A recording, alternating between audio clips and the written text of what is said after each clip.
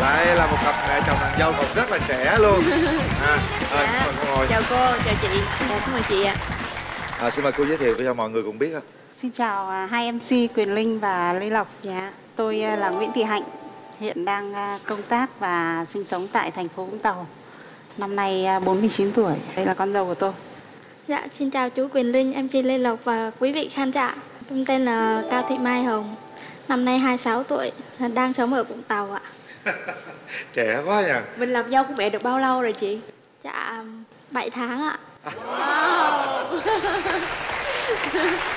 mới có 7 tháng thôi. Cô dâu trẻ mẹ chồng cũng trẻ nữa. Cái ngày đầu tiên gặp ờ, cô bé xinh xinh nhỏ nhỏ này nè thì ờ, cô có nghĩ nó sẽ là con dâu của mình hay không và ấn tượng như thế nào? Thực ra ấy thì à, cái câu chuyện về ấn tượng của con dâu đầu tiên ấy thì nó cũng rất là dài. Con trai với lại cháu thì công tác ở thành phố Hồ Chí Minh. Thế nhưng mà cái cái tâm nguyện của mẹ là ở Vũng Tàu thì cũng muốn là là con lấy vợ ở- Vũng Tàu cho nó gần. Khi mà cháu quen cái cô bé này á là con dâu bây giờ thì à, cháu giấu. Cháu cũng cứ hay nói bóng nói gió là em về quê bác, tức là quê Nghệ An đấy ạ. An. Dạ. Nghĩ là cháu nó nói chơi vậy thôi chứ cũng không nghĩ là cháu nó nói thiệt. Một thời gian sau thì ờ, cháu nó chuyển về Vũng Tàu làm, tức là con trai đấy. Thì mẹ cũng vui lắm, thực sự là nghĩ là con nó về Vũng Tàu thì chắc chắn là nó sẽ ờ, lấy vợ ở Vũng Tàu thôi. Thế nhưng mà thực sự là thương cô bé này rồi. Thế là cứ ờ, một vài tuần ấy thì cuối tuần nghỉ làm lại tranh thủ lên thăm. Về sau mẹ cũng sốt ruột. Mẹ mới tìm cách là bây giờ sẽ tiếp cận với cô bé này. Mà mẹ thì cũng chỉ biết tên thôi. Thế đến lúc mới vào phây thì mới tìm được cái cái, cái nick của cháu. Thì vào thì cũng kết bạn nhưng mà cháu không muốn kết bạn. Về sau mới ờ, nói với con trai là con nói với bé Hồng kết bạn với mẹ để mẹ nói chuyện. Thế thì đến khi mới gọi được cho cháu thì cũng nói chuyện. Thì nói chuyện à, với cháu là giờ cô thì cô không có ngăn cản cái cái tình cảm của các cháu đến với nhau. Thế nhưng mà bây giờ hai quê hương ấy thì xa xôi quá. Mà các con thì đều là công nhân. Nếu mà sau này lấy nhau thì sẽ rất là vất vả. Thì con thì chỉ nghe vâng với dạ thôi. Chứ không có cái ý kiến gì cả. Con bảo thế gần Tết con được nghỉ thì con sẽ về dưới chơi với lại hai bác và gia đình. Đến lúc thì cận Tết quá thì cháu nó không về được, cháu nó về Bắc. Qua Tết thì nói thật, các cháu nó có bầu trước mà cháu cũng vẫn về Bắc bình thường. Giấu chồng nó bây giờ. Mẹ hôm đấy đang đi dạy, đang ngồi ở cái phòng giáo viên này giải lao thì con mới nhắn một cái tin khủng bố là mẹ ơi cưới vợ cho con. Thế mẹ cũng cười, mẹ bảo về Vũng Tàu mẹ cưới cho. Đến khi con bảo không con về quê bác. Khẳng định là con về quê bác. Là mẹ biết ngay là có chuyện rồi. Là Có vấn đề rồi cho nên con mới có như bầu mấy thế. tháng rồi. Lúc đấy về 3 tháng rồi ạ. Ồ. Ủa gì Cháu nó có- giấu nó không dám có, nói. có sợ không Dạ có, lúc đó cháu sợ nên là mới không dám nói. không dám nói luôn Dạ không. à. rồi khi mà mẹ biết được cái tin đó rồi hai người nói chuyện với nhau như thế nào chị Nó thuyết tắt, nó sợ nó tắt hết cả phây Tắt hết cả điện thoại Tắt không luôn nghe hả? Không nghe gì hết Thì nói thật là mẹ bực quá Mẹ cũng cũng vừa buồn vừa bực nữa Là nghĩ là nếu như thực sự các con nó thương nhau Thì mẹ cũng không có ngăn cản gì Thì giá như mà cháu nó nói sớm Thì mẹ có thời gian để mà mà chuẩn bị cho nó chu toàn hơn. Thời bây giờ thì cũng dễ dàng hơn một chút Đúng nhưng rồi, mà bây cái tâm chuyện nó- niệm của mẹ thì À. vẫn muốn là các con nó hoàn thiện hơn một chút. Dạ. Thì nó hay hơn nó đẹp hơn. bây giờ nhiều khi người ta có con xong người ta mới đám cưới mà.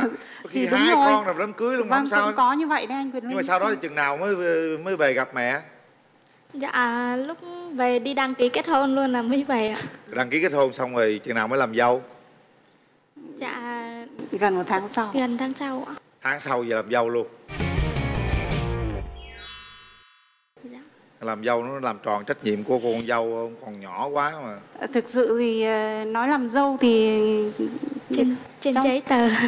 trên giấy tờ thôi chứ cháu chưa phải làm dâu ngày nào à, cháu nó cưới xong thì ờ, nghỉ ngơi mấy hôm thì cháu lại lên Sài Gòn để cháu đi làm tiếp thì bầu bì mà cháu nó đi lại nó cũng cũng không tiện lắm. Cho nên là cứ mẹ lại chuẩn bị đồ ăn thức uống là cho chồng mang lên.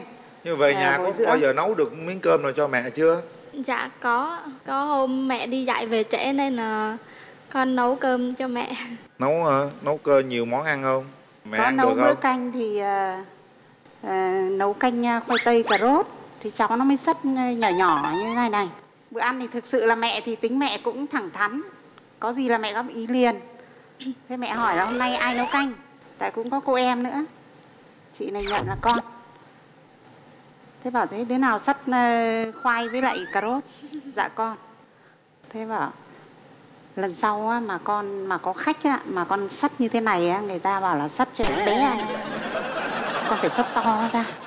Đấy, cho nó nhìn cho nó đẹp mà nó cũng dễ gắp nữa. Sắc nhỏ chút chút chút chút vậy đó vâng, hả? sắt nhỏ chút chút vậy đó. Rung quá sắc nhỏ hay sao con dạ không ạ thì ở quê thì con cũng cắt lớn nhưng mà vào trong này thì lúc ở sống ở trên Sài Gòn á mình cứ nghĩ là tiết kiệm ga xong rồi đi đâu cũng thấy sắt nhỏ nhỏ nên con nghĩ mẹ cũng tiết kiệm nên là con sắt nhỏ. Rồi hai mẹ con mình không biết có điểm nào hợp nhau không chị? Dạ mẹ con thì siêng siêng làm đẹp. Hai mẹ con đều yêu thích làm đẹp á. dạ với ăn uống cũng hợp nhau. Nói chung là về ăn uống hay là cái ờ, sinh hoạt á, thì ờ, mẹ con cũng đều là hợp nhau cả. Thấy cháu nó mỗi lần đi về á hiện tại bây giờ thì cháu nó cũng sanh ờ, em bé rồi. Và ở riêng. Thì ờ, chỉ nhìn mẹ thì cũng tinh ý là cứ nhìn qua cái cách sinh hoạt của các cháu thì mẹ biết.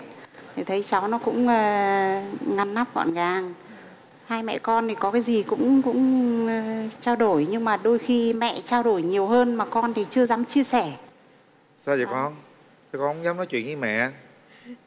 Dạ thì lúc đầu nhìn mẹ cũng nghiêm Bây giờ cũng thấy mẹ nghiêm nên là cũng hơi hơi sợ Nên là chưa có chia sẻ nhiều với mẹ. Đó mẹ cũng hiền mà. Cứ chia sẻ đi.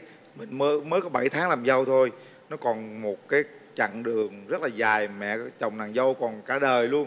Ra không chia sẻ sau này mẹ con không hiểu nhau á. Thực ra là cũng rất là thích cái chương trình này và rất là ngưỡng mộ hai MC cho nên là con trai mới nói là thế con đăng ký cho mẹ lên chương trình để là muốn là mẹ, chồng và con dâu chia sẻ nhiều hơn, để thông cảm nhiều hơn. Thực sự ra thì chưa có cái gì là nhiều để cho cháu nó làm cho mình buồn, nhưng mà có một vài điều, ví dụ như là có một lần thì à, sanh em bé, mẹ đi dậy rồi. Thế hôm đó buổi trưa mẹ đi làm về, mệt lắm, cũng mệt lắm. Con mới nhắn tin trên Facebook, trên trên Zalo là chiều bà có đi dậy không? Mẹ nghe câu này mẹ sốc lắm rồi. Thấy thấy nói trống không. Chứ cũng chẳng mẹ ơi mẹ à gì cả. Thế mẹ cũng trả lời lại là không. Thế câu thứ hai thì mẹ hỏi là có gì không? Mẹ nghĩ là những cái, cái, cái tin nhắn những cái lời đó thì chắc chắn là con nó sẽ hiểu là mẹ cũng bực cái câu nói đó. Thì mẹ nghĩ là nó coi mình giống như kiểu ngang hàng phải lứa với nó. Chứ cũng chẳng có uh, chủ ngữ vị ngữ nhưng mà lại lại nghĩ bảo hay là tại mình làm giáo viên nên mình khắt khe là nói phải có chủ ngữ vị ngữ nhưng mà thực sự ra thì đó là những cái giao tiếp là mình nên uốn nắn ngay từ đầu Đúng. để cho các con nó nó thay đổi mẹ nói vậy con thấy làm sao Lúc đó do con cũng thẳng tính với lại con nghĩ không không có khoảng cách với mẹ nên là mới ghi thẳng như vậy. cho nó gần gũi đúng không Dạ, ai về mẹ tưởng đâu mình nói trống lạo trống không á hả dạ. Đúng ra những cái lúc này á là mẹ con nên nói chuyện với nhau những cái đó. Rồi từ từ hiểu nhau thôi chứ không có gì đâu. Không mẹ thì mẹ cũng rất hay chia sẻ với con bởi vì thế này thực sự rất là thương con dâu.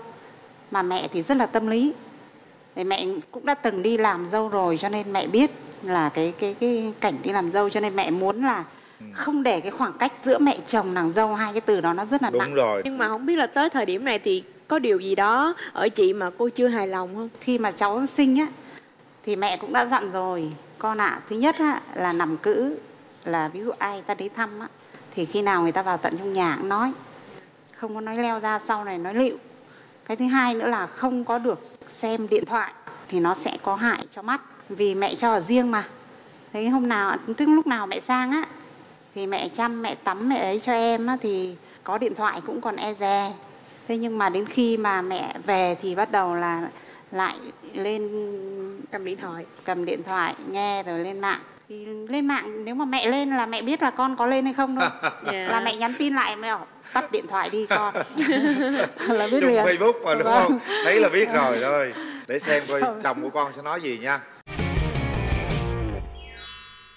Thật sự là khi em đăng ký lần đầu tiên mà em đăng ký cái chương trình này cho mẹ với vợ em thì em cũng chỉ ờ, muốn xem là giữa mẹ mẹ em và vợ em thì à, có hiểu ý nhau, có có đồng quan điểm với nhau hay không? Thật sự là khi à, vợ em về làm dâu thì à, em thấy vợ em có những cái câu nói nó hơi thiếu chủ ngữ, vị ngữ. Điều đấy là cái điều đáng cũng hơi buồn. Cái mong muốn của em về giữa vợ và mẹ cũng như về gia đình cái ở đây em chỉ cần là vợ em hiểu thêm về em cũng như gia đình em. Những cái cái người đi trước người ta chỉ bảo và những cái lời nói của mình những cái từ ngữ mình nói ra làm sao với người lớn khi nào vui đùa khi nào à, chân thật khi nào nói nó phải tôn trọng lễ phép một tí với gia đình.